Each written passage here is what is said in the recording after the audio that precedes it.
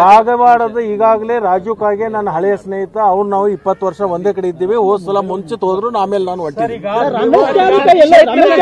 ಮೇಲ್ಗೆ ಸಾಧಿಸಿ ನಿಮ್ಗೆ ಸ್ವಲ್ಪ ರೀತಿಯಲ್ಲಿ ಅಗೌರವ ಆಯ್ತಾ ಅಂತ ಸರ್ ಯಾರ ಮೇಲ್ಗಯ್ಯ ಯಾರ ಕೆಳಗಯ್ಯ ಅನ್ನೋದು ನಾಳೆ ಚುನಾವಣೆ ಮುಗಿದ ಮೇಲೆ ಗೊತ್ತಾಗುತ್ತೆ.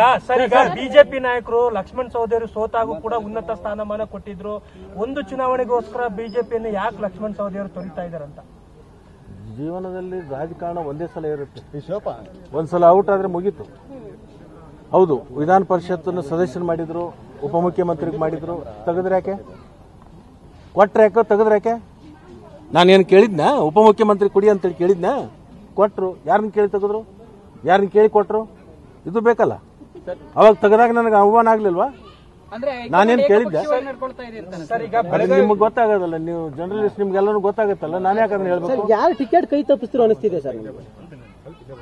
ಯಾರ ಬಗ್ಗೆ ನಾನು ವೈಯಕ್ತಿಕವಾಗಿ ಟೀಕೆ ಮಾಡೋದಿಲ್ಲ ಒಟ್ಟು ಭಾರತೀಯ ಜನತಾ ಪಕ್ಷದಿಂದ ನಾನು ವಂಚಿತನಾದೆ ವಂಚಿತನಾದಂತ ಸಂದರ್ಭದಲ್ಲಿ ಅನಿವಾರ್ಯವಾಗಿ ರಮೇಶ್ ಜಾರಕಿಹೊಳಿ ನಿಮ್ಮನ್ನ ದಾಳುವಾಗಿ ಬಳಸ್ತಾರೆ. ಕಾಂಗ್ರೆಸ್ ಮಾತುಗಳು ಕೇಳಿ ಬರ್ತಾ ಸರ್. ಏನ್ ಹೇಳ್ತೀರಾ? ಅಲ್ಲಿ ಹಾಗಿದ್ರೆ ಬೆಳಗಾವಿಯಲ್ಲಿ. ಚುನಾವಣೆ ಮುಗಿದ ಮೇಲೆ ಗೊತ್ತಾಗುತ್ತೆ.